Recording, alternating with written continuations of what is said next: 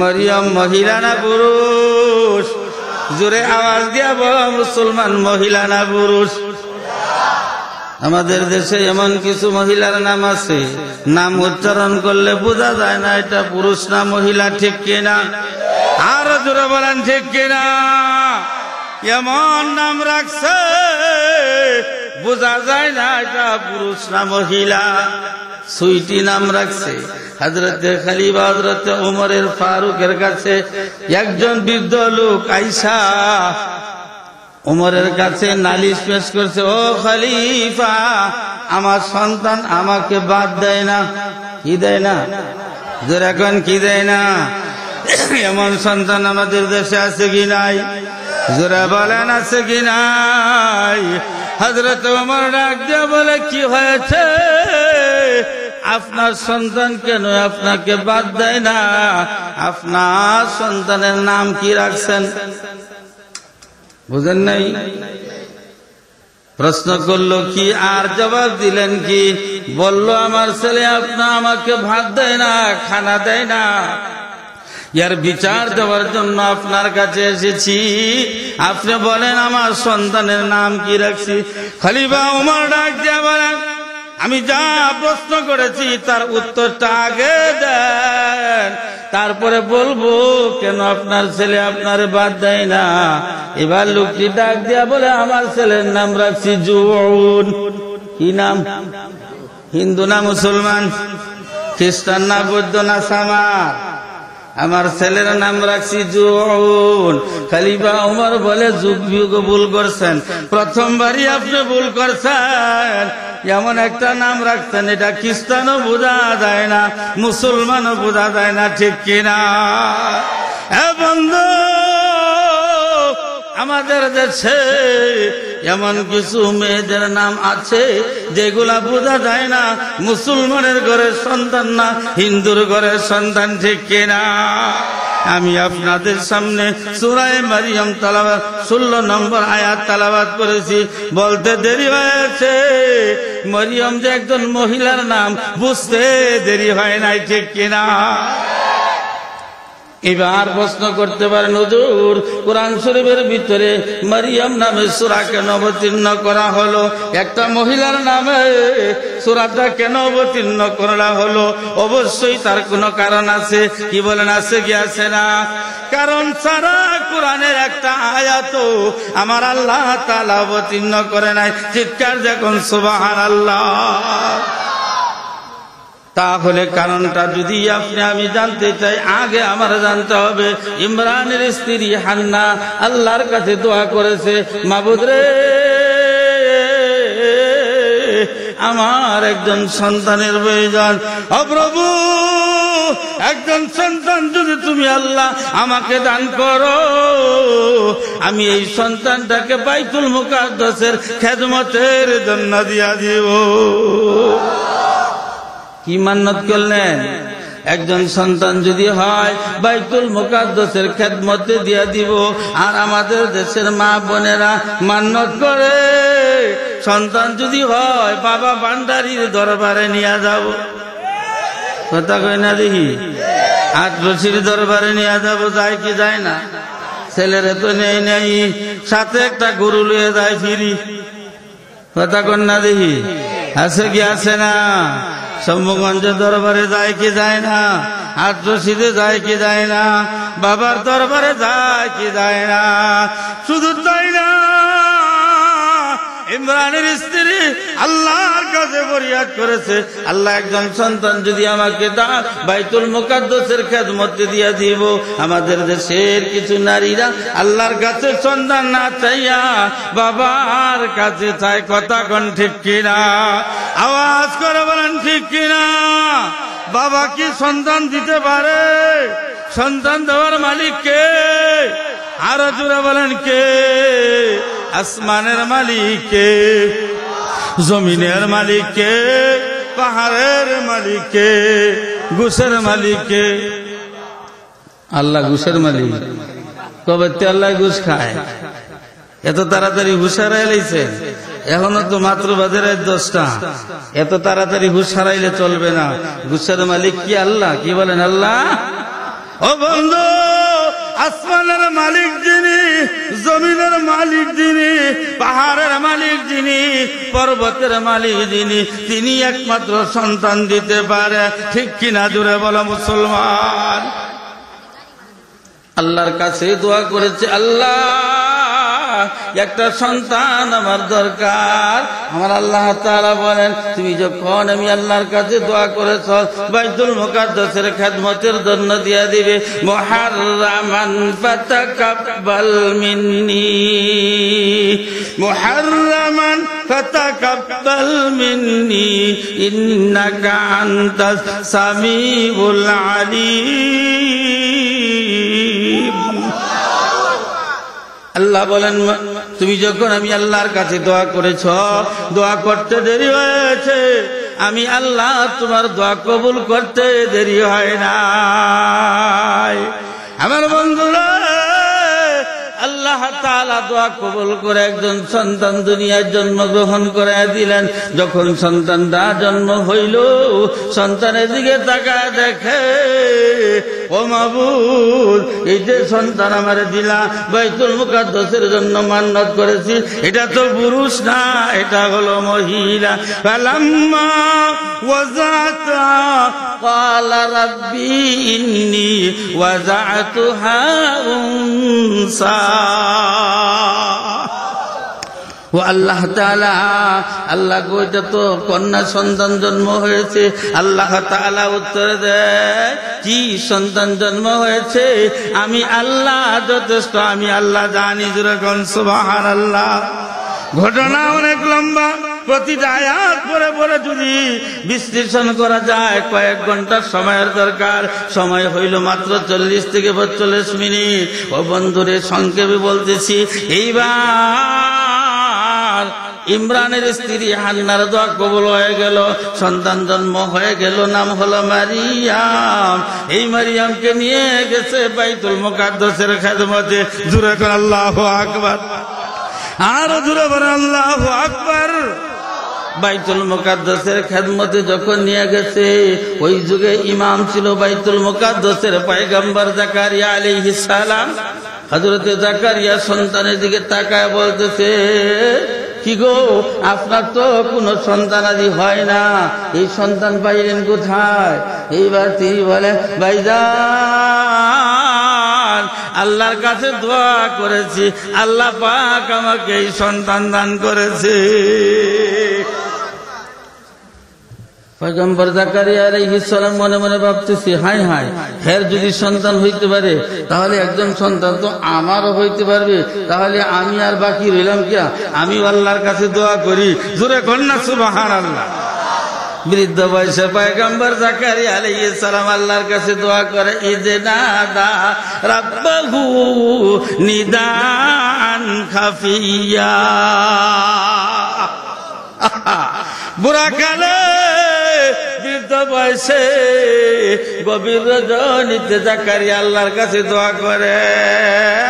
পয়গম্বরের চিন্তা হইল, আমি তো বয়স হয়ে গেছে আশির উপরে, বিবি হয়ে গেছে বান্দা।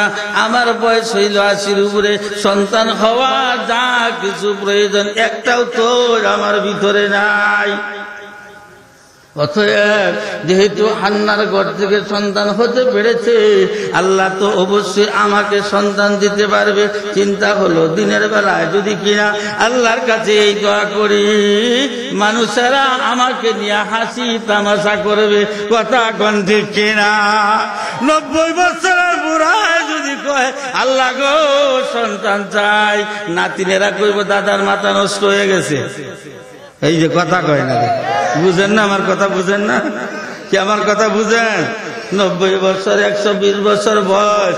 এখন যদি আল্লাহ, ছেলে চাই, সন্তান চাই, নাতি নাত করে কইব, দাদার মাথা খারাপ হয়ে গেছে, বেড়ে ব্রেন্ডি বেড হয়ে গেছে, দাদার মাথা নষ্ট হয়ে গেছে। কথা কোন ঠিক কিনা? পয়গম্বর জাকারিয়া আলাইহিস চিন্তা করতেছে, আমি যদি এখন প্রকাশ্যে যদি সন্তানের জন্য ফরিয়াদ করি, লোকেরা শুনবে, আমাকে নিয়ে ঠাট্টা বিরোধ করবে, গভীর রজনীতে উঠিয়া আল্লাহ দরবারে ফরিয়াদ করতেছে। আবার বলে, আল্লাহ, সন্তান যে আমার দিবা, আমার তো হাড্ডি দুর্বল হয়ে গেছে। সন্তান হওয়ার যা দরকার কিছুই নাই। আমার কাছেও নাই, বিবির কাছেও নাই। তারপরেও বিশ্বাস, হান্নারে যেহেতু সন্তান দিতে পেরেছ, কাজে আমাকেও তুমি দিতে পারবা দোয়া যখন করেছে, আল্লাহ পাক সাথে সাথে তার দোয়া কবুল করেছে। দূরে দূরে কোন সুবাহার আল্লাহ দোয়া কবুল করিয়া আমার আল্লাহ ডাকিয়া বলে, তুমি একটা কাজ করবা, তিন দিন পর্যন্ত মানুষের সঙ্গে কথা বলবা না। জুরে আল্লাহ আকবার। এইবার জাকারিয়া ঘর থেকে বাইর হইয়া মানুষদেরকে দাওয়াত দেয় ইশারাতান দাওয়াত দেয়, মুখ দিয়া কথা বলে না। নিষেধ কার হে মুসলমান জুড়ে কও নিষেধ কার গুনার কাছ থেকে বাঁচিয়া থাকা, গুনার কাছ থেকে বিরত থাকা আদেশকার আর জুড়ে বলেন আদেশকার নামাজ পড়া আদেশ কার? রোজা রাখা আদেশকার, জিকির করা আদেশ কার এবাদত করার আদেশ কার যিনা যিনি যিনি নাকি সব কিছুর আদেশ করেছেন, তিনি কে? আরও দূরে বলেন, তিনি কে? তিনি বলেন একমাত্র আমার, আপনার আল্লাহ। দূরে ডাক দেন, আল্লাহ আকবার। আরও দূরে ডাক দেন, আল্লাহ আকবার। আওয়াজ করে বলেন, আল্লাহ আকবার। ভাইরা আমার, এইবার আল্লাহ তাআলা ঘোষণা করলেন, তিন দিন কথা বইল না, জাকারিয়া তিন দিন কথা বলে না। আল্লাহ পাক একটা সন্তান দান করলেন। আমার আল্লাহ তাআলা ডাক দিয়ে বলেন, ইয়া খুদিল কিতাব আবি কুয়া দূরে আল্লাহু আকবার। আল্লাহ একজন সন্তান দান করলেন, যে সন্তানের নাম হলো হজরতে সালাম। ও বন্ধু, তারপরে কি হলো? মরিয়মকে এখন কে লালন পালন করবে? মরিয়মকে লালন পালন কে করবে? লোকেরা বলে, আমাকে দেন। একজন বলে, আমাকে দেন। আরেকজন বলে, আমাকে দেন। বা এইভাবে হবে না, লটারি দেওয়া হোক। লটারির মাধ্যমে যে ভাগ্যে, যার ভাগ্যে মরিয়ম পড়বে সেই তাকে লালন পালন করবে। লটারি কীভাবে দেওয়া হবে। বিভিন্ন মতভেদ আছে তার মাধ্যমে। একটা মত হলো কলমগুলা পানির মধ্যে ছেড়ে দিয়েছে, যার কলমটা পানির নিচে চলে যাবে, সে মরিয়মকে লালন পালন করতে পারবে না। যার কলমটা উপরে বেসে থাকবে, সে মরিয়মকে লালন পালন করতে পারবে। পয়গম্বর জাকারিয়া আলাইহিস সালাম নিজের কলমটা যখন পানির মধ্যে ছেড়ে দিয়েছে, পানির নিচে যায় নাই, আমার আল্লাহ তার কলমটাকে পানির উপরে বাসাইয়া রাখছে। তাহলে কলমটা যেহেতু পানির উপরে বেশি আছে, এখন মরিয়মকে লালন পালন করার দায়িত্ব পাইল কে? কথা বলেন কে? পয়গম্বর জাকারিয়া আলাইহিস সালাম মরিয়মকে লালন পালন করার দায়িত্ব পেয়ে গেছে। আমার আল্লাহ তাআলা কোরআনে কারীমের মধ্যে ওয়াজ করতেছেন ওয়াজকুর ফিল কিতাবি মারইয়াম ইযিন তাবাযাত মিন আহলিহা মাকানান শারকিয়া। মারিয়াম বাইতুল মুকাদ্দাস থেকে একটা জায়গা, একটা নির্দিষ্ট জায়গা করে দিয়েছে।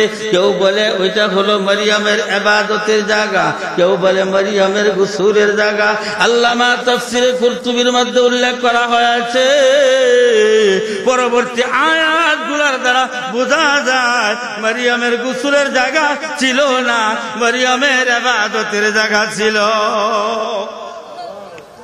আমার ভাইরা, মারিয়াম ওই ঘরের ভিতরে থাইকা এবাদত করতেছে। এবাদত করা অবস্থায় রাতের অন্ধকারে আমার আল্লাহ তাআলা মারিয়ামের ঘরের ভিতরে আল্লাহর ফেরেশতা জিবরাইল আলাইহিস সালামকে মানুষের আকৃতি ধারণ করিয়া মারিয়ামের ঘরের মধ্যে প্রেরণ করে দিল। বুঝেন না আমার কথা? কি বুঝলে সুবহানাল্লাহ কোয়া দরকার আছে কি নাই? এ দরকার আছে কি নাই? আরসালনা ইলাইহা রূহানা ফাতামাসসালা লাহা বাশারান সাবিয়া। আমার কথা না, আল্লাহ বলেন, আমি আমার ফেরেস্তা রূপ মানে জিব্রাইলকে। আমি আল্লাহ হজরত জিব্রাইলকে মারিয়ামের ঘরের ভিতরে পাঠিয়ে দিলাম। মারিয়াম ডাইনে বামে সালাম ফিরাইয়া পিছন দিকে তাকা দেখা রে এই ঘরের ভিতরে এই টকবগে যুবক বৈশা রয়েছে জুরে আল্লাহ আকবার। আমি আপনাদের জিজ্ঞেস করতে চাই, একটা মহিলার সামনে যদি কোন একটা যুবক আইসা পড়ে যায়, মহিলাটা ভয় পাবে কীভাবে না? হে মুসলমান জুড়ে বলো, ভয় পাবে কীভাবে না? মরিয়ম ভয়ে থরথর থরথর করে কাঁপতেছে আর চিন্তা করতেছে, সর্বনাশ। এটার ভিতরে হলো পর্দা, চতুর্দিকে ভান্ডারি দেওয়া। এই এর ভিতরে এই যুবক সন্তান ঢুকলো কি করে? আশ্চর্য হয়ে গেছে, পেরেশান হয়ে গেছে। এটার ভিতরে ঢুকতে হলে তো একটা রাস্তার প্রয়োজন। কোনো রাস্তা নাই, তারপরে রাস্তা ছাড়া এই যুবক এখানে ঢুকলো কি করে? যুবকটা যেহেতু এখানে ঢুকেই বলেছে, তাহলে আমার আর ইজ্জত থাকবে? এই না কথা কোন ইজ্জত থাকবে? জোরে বলেন ইজ্জত থাকবে? এমন যুবক আমাদের দেশে আছে কি নাই? কে বলেন, আছে কি নাই? রসুলের দরবারে একটা যুবক ছেলে বসছে বৈশা রসুলের বয়ান শুনতেছে। জান্নাত এবং জাহান নামের সেই যুবকের চরিত্র ছিল সবচেয়ে নিকৃষ্ট, চরিত্র ছিল খারাপ, সে ছিল জিনাখোর। এই অবস্থায় নবীজির জবান থেকে মূল্যবান কথা শুনে শুনে সাথে সাথে তৌবা করে, কলমা পরে তৌবা করে আল্লাহর কাছ থেকে তার জীবনের গুণা মাফ করাইয়া বাড়ির দিকে ফিরতেছে। দূরে করে আল্লাহ আকবর। বাইরামার বিকাল বেলা একটা সুন্দরী যুবতী মহিলা বিকালে পাহাড়ের কিনারা দিয়ে যখন হাঁটতেছে, বাড়ির দিকে যখন ফিরতেছে, ওই যুবকটাও ভীষণ দিক দিয়ে আসতেছে। যুবকের চেহারার দিকে তাকাইয়া ডাক দিয়া বলে, মাবুদ রে কি জন্য আমি ঘর থেকে বের হয়েছিলাম? ওটা তো ওই যুবক। যেই যুবক আমার বান্ধবীর চরিত্রগুলা নষ্ট করেছে, আজকে তো এই যুবকের হাত থেকে আমি রেহাই পাবো না। রব্বে আমি কি জন্য বের হয়েছিলাম? এই সব আল্লাহর কাছে বলে বলে যখন সামনের দিকে অগ্রসর হচ্ছে, যুবকটাও ভীষণ দিক দিয়ে যাচ্ছে। যুবক এবার বুঝতে পেরেছে। মনে হয় এই মেয়েটা আমার চরিত্র সম্পর্কে জানে। আস্তে করিয়া ডাক দিয়া বলে, মা গো, দাঁড়াও, তুমি কেন ভয় করতেছ? মেয়েটা চিন্তা করতেছে, এই যুবকের মুখ দিয়ে তো মা ডাক শোভা পায় না। অতএব যেহেতু মা বলে ডাক দিয়েছে দাঁড়ায় গেছে, পিছন দিকে লক্ষ্য করিয়াছে। যুবক রে তোমার জবান দিয়া মা ডাক্তার সামাল পায় না। তোমার জবান দিয়ে মা ডাক্তার উচ্চারিত হতে পারে না। তোমার তো চরিত্র খারাপ। তুমি আমার বান্ধবীদের চরিত্র নষ্ট করেছ। যুবক কি ডাক দিয়া বলে, বোন রে, তুমি জানো কিছুক্ষণ আগে রহমত আলমিন নবীর দরবারে গিয়েছিলাম। নবীর জবানের কথা শুনিয়া আমার জীবনের সমস্ত কিছু বলিয়া এই মাত্র তৌবা করিয়া বাড়ির দিকে যাইতে আসি। সাথে সাথে তৌবা করিয়া আমার জীবনে সব কিছু ভুলে গেছি। আমি আসছি সাহায্য করতে। তোমাকে পাহারা দিয়ে দিয়ে বাড়িতে বসাইয়া দিব। আমার বন্ধুগণ হজরত মারিয়াম আলী ইসলাম যুবকটারে দেখা পেরেশান হয়ে গেলেন। আল্লাহর কাছে দোয়া করতেছে। আয় আল্লাহ এই যুবকের হাত থেকে আমার ইজ্জত রক্ষা করো। আল্লাহ, তুমি আমাকে হেফাজত করো। এই সব দোয়া যখন করতেছে, তখন যুবকটি ডাক দিয়া বলেন, মারিয়াম রে, কি জন্য তুমি পেরেশান হইলা? কি জন্য তুমি চিন্তা করতেছ? জানো না, আমি আল্লাহর পক্ষ থেকে একটা সুসংবাদ দেওয়ার জন্য আসছি। কোন আল্লাহ আকবার। কি দিতে আসছি? কি দিতে আসছি? সুসংবাদটা কি?